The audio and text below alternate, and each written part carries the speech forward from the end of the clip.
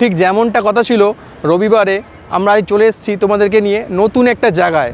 কি জায়গা? সেটা তোমাদের সম্পূর্ণ ঘুরে দেখাবো। লকডাউনের মধ্যে যারা ভাবছ কোথায় যাব, যাওয়ার কোনো জায়গা নেই, সমস্ত কিছুই বন্ধ। তো আজকে আমি একটা এমন জায়গার সন্ধান দেবো যেটা তোমাদের ঘুরতে খুবই ভালো লাগবে। By the way welcome to my channel welcome to new blog তো চলো আজকে ভিডিওটা শুরু করি।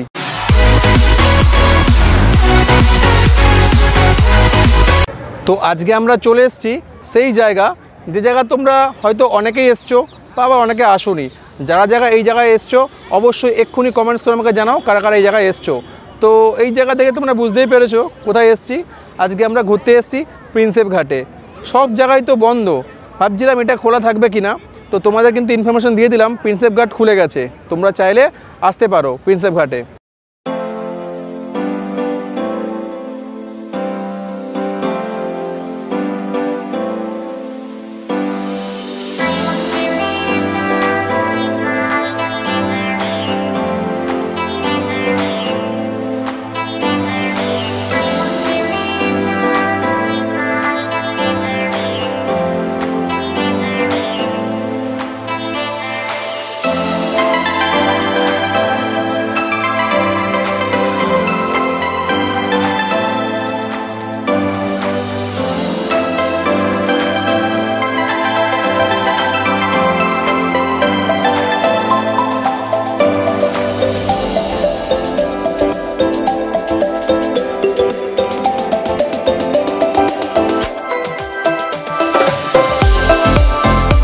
যারা যারা ট্রেনে করে আসতে চান, সেই সুবিধাও কিন্তু এখানে পাবেন।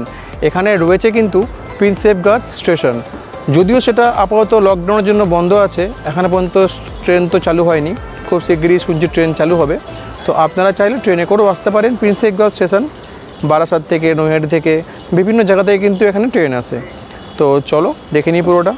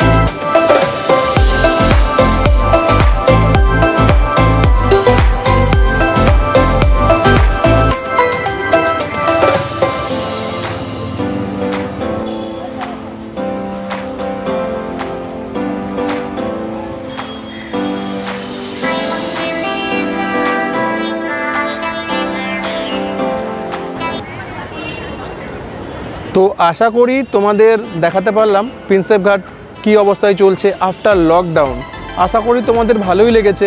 যারা যারা ভাবছি যে প্রিন্সেপ ঘাট আসবে কি আসবে না, তারা অবশ্যই আসতে পারো প্রিন্সেপ ঘাটে ভিড় কেমন আছে, কতটা কি জায়গা, কতটা কি পরিবর্তন হয়েছে, সম্পূর্ণই তোমাদের দেখালাম। তো আমার ভিডিওটা ভালো লাগলে অবশ্যই লাইক করো, চ্যানেলটাকে সাবস্ক্রাইব করে দিও। পরের সপ্তাহে আসছি নতুন কোনো একটা ব্লগ নিয়ে। টাটা।